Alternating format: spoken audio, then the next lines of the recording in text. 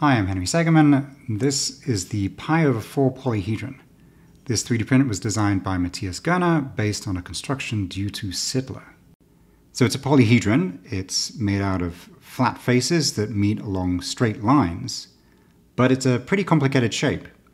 So why would someone come up with this and what is it for? Often people think about regular polyhedra, like these dice. All of the faces are the same as each other, all the edges are the same as each other, everything is symmetric. You can also make less symmetric polyhedra where there are different kinds of faces and edges. On this die, for example, you can see that the angle at this edge is much shallower than the angle at this edge. Okay, so this pi over 4 polyhedron is even less regular. It's not even convex. There are holes and indentations all over it. However, there is something a bit regular about the edges. The angles between the faces at each edge are, well, here's a set square. We get 90 degrees here, 90 degrees here, 90 degrees but concave here. Even though there are all of these strange shapes everywhere, the angles are all 90 degrees except for this one edge here, which has an angle of 45 degrees. And it turns out that in order to make a polyhedron that has 90 degrees everywhere apart from at one edge, you have to do something as complicated as this. It's worth imagining what you might do to try to make a simpler polyhedron. Two edges with 45 degree angles is easy. Just make a prism out of a 45, 45, 90 triangle. Next, you could try to remove one of those 45 degree angles without introducing any new edges that didn't have 90 degrees at them, but it's not so obvious how to do this.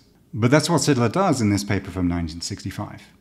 Matthias Goerner followed Sydler's instructions and, as far as we know, made the first physical version of such a polyhedron. You can also follow Matthias's version of the construction at his webpage, link in the description. Why was Sidler thinking about this kind of polyhedron? Well, it comes from generalizing things like this. This is the Dudeney-McElroy dissection. You can cut an equilateral triangle along straight lines into four pieces and rearrange them to make a square. This is known as scissors congruence. The equilateral triangle and the square are congruent to each other if you're allowed to get out your scissors and cut it into pieces before you rearrange and make the other one. In fact, the Wallace-Bolyai-Gerwien theorem says that for any two polygons which have the same area, you can always cut one up with scissors and rearrange to make the other one. Here's a web page where you can play with this yourself. In 1900, David Hilbert asked if the same thing was true in three dimensions. That is, if you have two polyhedra which have the same volume, is there a way to cut one of them up with planes into pieces which can be reassembled to make the other one? Hilbert's student Dehn proved that volume is not enough. So, for example, there's no way to cut up a cube into pieces and reassemble those pieces to make a regular tetrahedron which has the same volume. Dehn showed this by introducing what is now known as the Dehn invariant. So the volume of a polyhedron doesn't change when you cut up and reassemble, and the Dehn invariant is another thing that doesn't change when you do that same process. So to show that there's no way to make a tetrahedron from a cube or vice versa, all you have to do is to show that they have different Dehn invariants, which they do. A quick aside, we shouldn't really be naming things after people. For one, the name Dehn doesn't tell you anything about the invariant. If the Dehn invariant were named something like the length angle invariant, then you would at least get a hint about it from the name. Things are often named after the wrong person. For example, L'Hopital's rule was almost certainly proved by Bernoulli, the Mandelbrot set was first studied by Brooks and Matelski, and Pascal's triangle was studied by the Indian mathematician Pingala almost 2,000 years before Pascal.